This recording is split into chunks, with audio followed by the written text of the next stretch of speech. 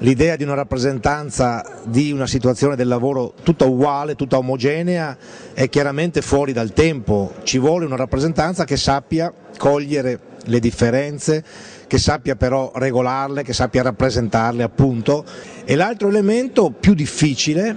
è quello di mettere la rappresentanza al servizio anche di, della responsabilità. Quindi serve una rappresentanza che sappia collegare sempre il bisogno, il disagio alla capacità di costruire delle nuove soluzioni senza chiudersi nelle certezze di un tempo che non torneranno magari più come erano, ma costruendo nuove solidarietà, nuove prospettive, nuove tutele per un nuovo lavoro. Oggi siamo in tempi nei quali il pubblico è, sta riducendo i propri spazi, gli interessi collettivi sono sempre più scomposti, meno collettivi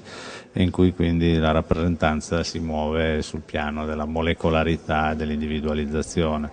e quindi la rappresentanza viene svolta sempre di più attraverso i media, la mediazione attraverso i media e eh, gli attori della rappresentanza sono sempre più individuali. Questo è il problema.